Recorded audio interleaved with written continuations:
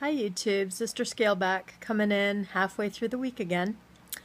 I uh, wanted to thank everybody for my excellent birthday that I had. I received well over a hundred Elvis pictures, videos, posts. It was it was terrific. Um, thanks so much for that. You made my day. Um, you all know how much Elvis means to me, and that was that was one of the best birthdays ever. So thank you very much for that. Um, this is actually Monday night. This is officially my nine week post op RNY gastric bypass day. Um, I, of course, don't officially weigh until Wednesday when I go to TOPS. If you've been following me, you know I'm a regular TOPS person. And so I, I trust their scale. Uh, but as of now, I'm exactly the same weight as I was last week, which is 313 pounds. So uh, I haven't moved um, up or down. Um, I think I have a habit of doing that. I, I lose really good for a week or two and then I just stay where I am for a week or two and it seems to be going that way. So maybe there is um, a pattern that I can figure out or maybe not. I don't want to twist my mind trying to figure it out. Um, as soon as I try to do that, something will change. Uh, I am, however, starting to worry that overall, um, I have only lost, and I don't like saying only lost, but 26 pounds since surgery in nine weeks. And hey, okay, that's still 20, 26 pounds less than I would have lost if I hadn't had the surgery. But um, I see everybody. I don't think there's anybody that's losing slower than me uh, that I know and I follow a lot of YouTube videos, a lot of people. Um, so 26 pounds in in nine weeks. Um, I wonder, like I have no thyroid, and I I lost it when I was 25 years old, and I have had to take a pill ever since. Um, and even before I had the surgery, I wasn't uh, what's the word to say? I wasn't a fast gainer and I wasn't a fast loser. I was always very around the same weight for a long time. Um, of course, I ate too much, but I didn't eat really terribly bad food. I didn't eat junk food. I didn't eat um, cake and ice cream chips and pop. I mean, I did have Diet Coke for years and I gave that up a year before my surgery. Giving it up didn't do anything to me. I didn't lose any weight from that. Some people have said they do, but I didn't. Um, and I'm wondering if it's my metabolism because of my thyroid. So if I'm averaging one or two pounds a week, I've had the occasional week with five pounds. Yay. That's exciting when that happens. But the average, I think, is about two pounds a week. Um, if you average it all over the, the stalls and the no, not losing. I'm wondering if it has to do with my thyroid. So basically what I'm getting down to is if there's anybody out there who doesn't have thyroid, who has to take that pill every day, you know, weigh in and let me know what you think about that. Um, I know I don't do near as much as I should in a day uh, physically, activity wise. I walk uh, once a day. I'm starting to think I need to do that twice a day, maybe, because I, I don't have the stamina to go as far as I probably should. I'm doing a mile a day. But maybe if I did a mile twice a day, it would be better for me. Just it's a matter of making myself do that. Um, when I'm still this big, it hurts to do it. And uh, so, excuses. I know. Yeah, forget that.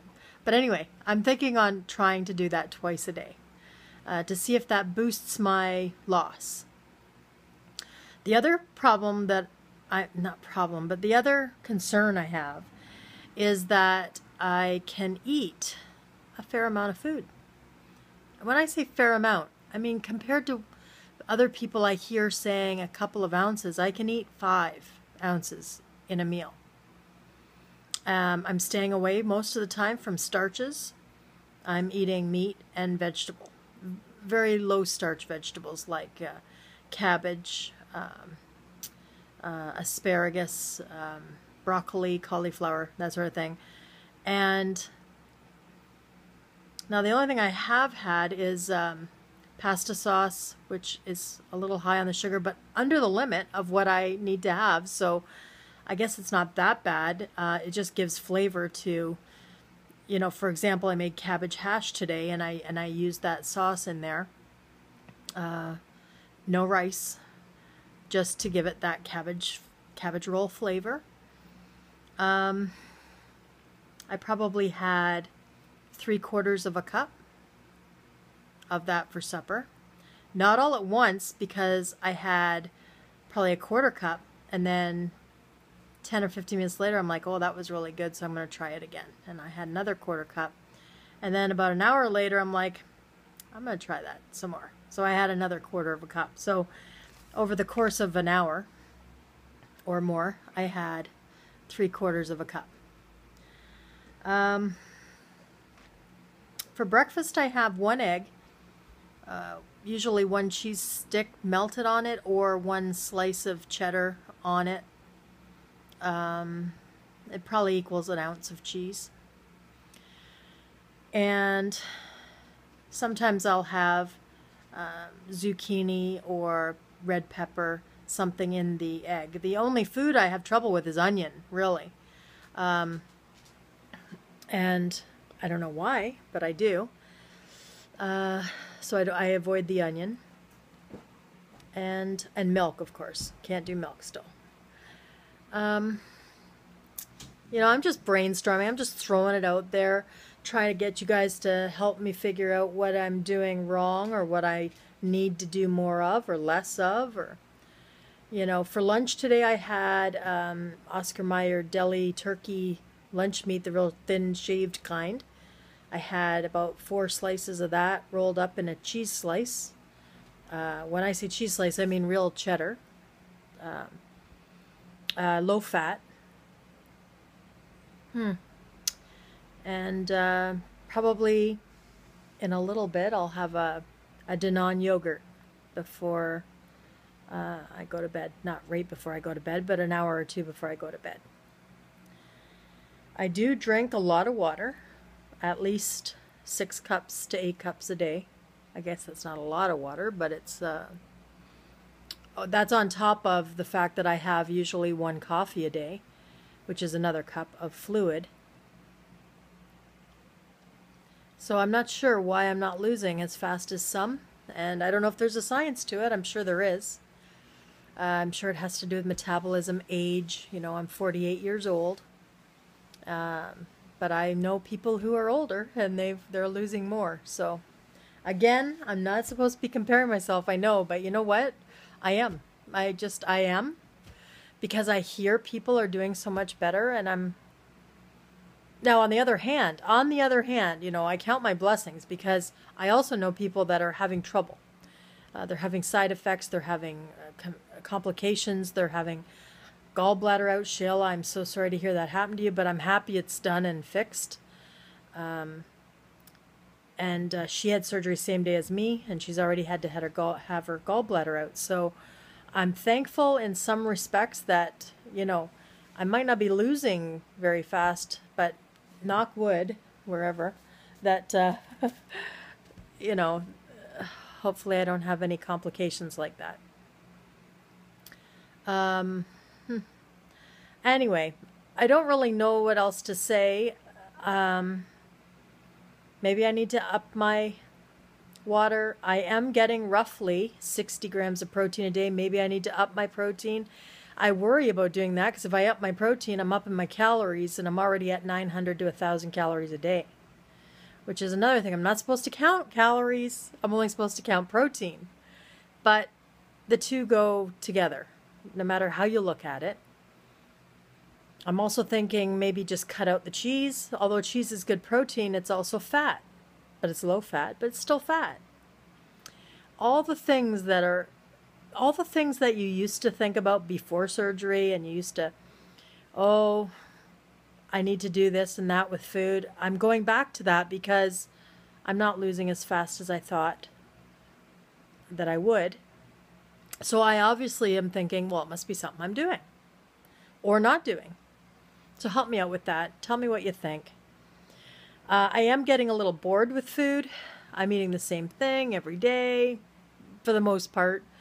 Um, you know, ground turkey, chicken, lunch meat and cheese, eggs for breakfast. Every morning I have one egg, you know.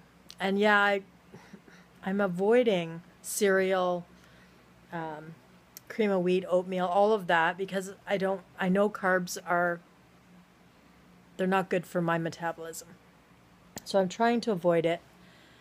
Um, I did actually on my birthday have a piece of toast. what do you know? Um, it was whole wheat. I could only eat one half of it. But I had a little peanut butter on there and sugar free jam, and it was good. It was really good. I savored every bite of that. But that was a birthday treat because I couldn't have cake or anything else, so I allowed myself that.